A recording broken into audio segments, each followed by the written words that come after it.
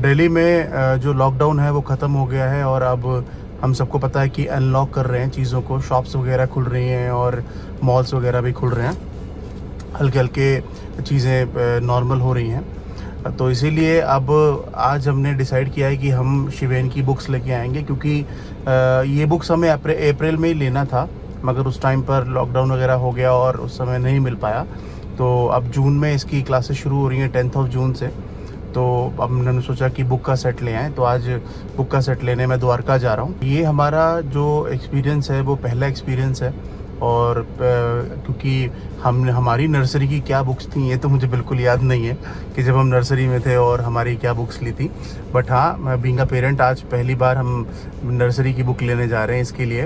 तो मैं भी थोड़ा एक्साइटेड हूँ देखने के लिए कि आखिरकार नर्सरी की बुक्स में क्या होता है, क्या पढ़ाया जाता है।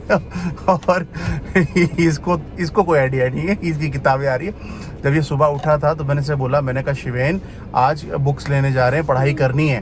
तो कह रहा था, हूँ हूँ, अब देखते हैं कि इसका हूँ का मतलब क्या है. फ़िलहाल वो इसलिए काफ़ी एक्साइटेड है क्योंकि उसको लग रहा है कि कार में है और हम कार में घूमने जा रहे हैं तो इसलिए वो काफ़ी एक्साइटेड है। अब उसे ये नहीं पता है कि बुक्स वगैरह हैं क्या है। तो आज मैं उन बुक्स को ख़रीदूँगा वो सेट अब मेरे दिमाग में ये चल रहा है कि एक सेट ख़रीदूँ कि दो सेट ख़रीदूँ, ये थोड़ा सा देखना पड़ेगा बट जाके पता करते हैं कि किस तरीके की बुक है, क्योंकि कई बार कुछ कुछ बुक्स हम लाए भी थे पहले बचपन में छोटे, पिछले लास्ट ईयर तो वो लेमिनेटेड होती है तो वो उतना फटती नहीं है जल्दी. तो देखते हैं कि यहाँ पर ये जो बुक सेट में जो बुक्स अवेलेबल होंगी, उनकी क्वालिटी क्या है और कैसे है तो वो थोड़ा देखना होगा.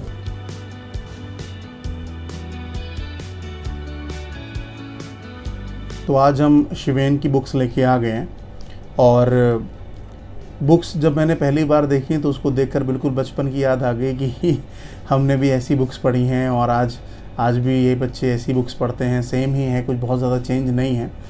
तो अच्छा लगा देखकर क्योंकि काफ़ी सारी ऐसी चीज़ें हैं जो आप जब उनको पहली बार देखते हैं तो आपको जो है वो बचपन रिकॉल होता है और आपको लगता है कि छोटे में हमने भी ऐसी किताबें पढ़ी हैं और हमें टीचर ऐसे पढ़ाता था। तो सबसे पहले यहाँ पर जो बुक मेरे हाथों में है, शिवेन की एक्टिविटी बुक है। इस तरीके की ये बुक वहाँ से मिली है तो बुक स्टोर वालों ने प्रोवाइड की है।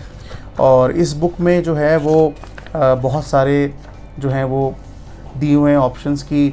मतलब इस तरीके से देखिए आप कि क्या क्या कलर करना है। तो कलरिंग वाली है, देखिए टोमेटो बना हुआ है तो ये टोमेटो कलर करना है।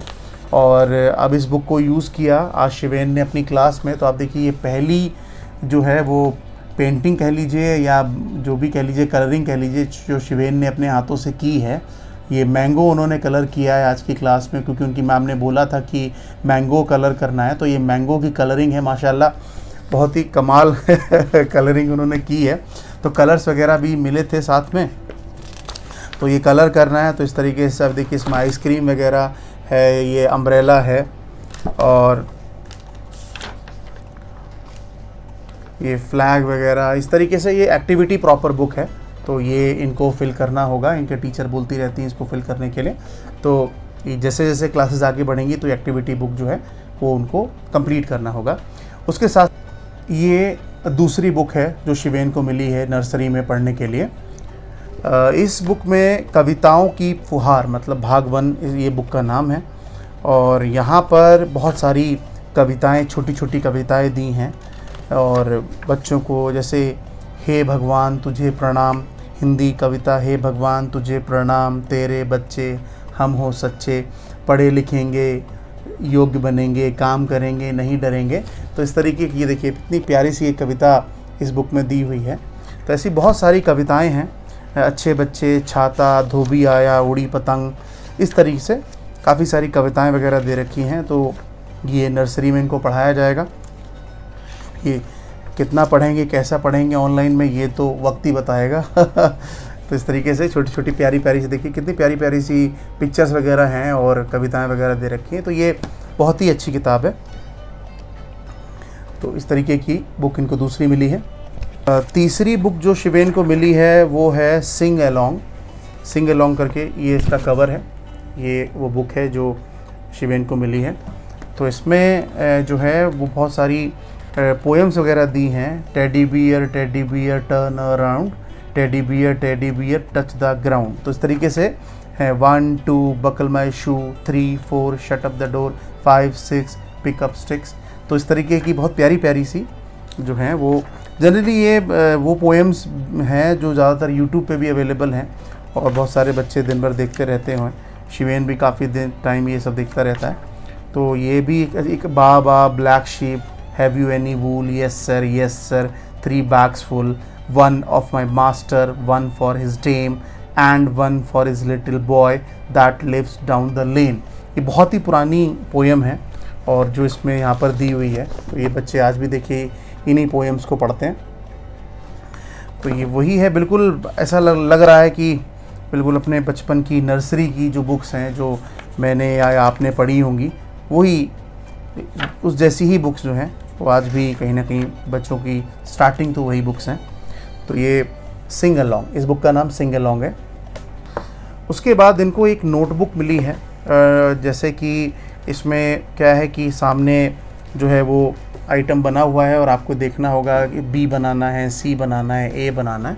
तो इस तरीके से लिखा है match the letter to the picture तो मैच करना है। और मैच करने के बाद फिर आगे लाइन सीधी खींचनी है। एल कैसे बनेगा टी कैसे बनेगा आई कैसे बनेगा? तो इस तरीके की नोटबुक जो है, वो उन्होंने प्रोवाइड की है। तो ये भी एक अच्छा कॉन्सेप्ट है। और मैंने जब ये नोटबुक में वहाँ पर देख रहा था स्टॉल पे जहाँ पर उन्होंने ये बुक्स हम जहाँ से लाए हैं। तो मैंने उनसे पूछा भी था कि भैया, क्या ये नोटबुक हमें एक्स्ट्रा मिल सकती हैं?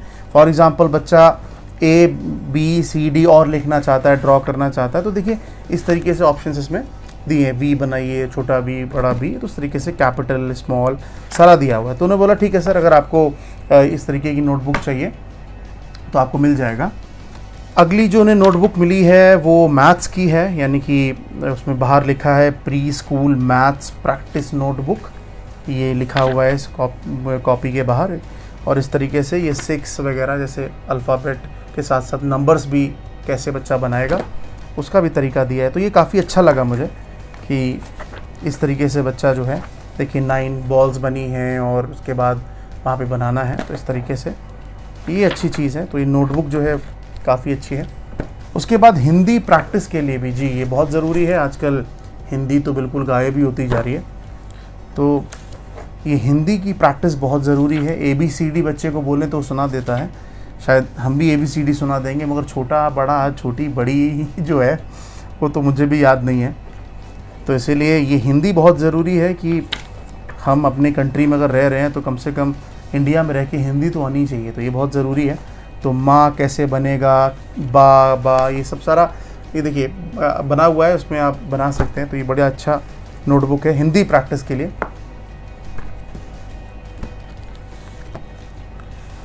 उसके बाद ये बिल्कुल प्लेन शीट्स उन्होंने दी हैं ड्राइंग वगैरह करने के लिए इस तरीके से। तो ये वो शीट्स हैं जिनसे कहीं ना कहीं अगर बच्चा ड्राइंग करना चाहे तो कर सकता है। तो पूरा ये जो बंडल है, ये कहीं ना कहीं प्रोवाइड किया है उन्होंने।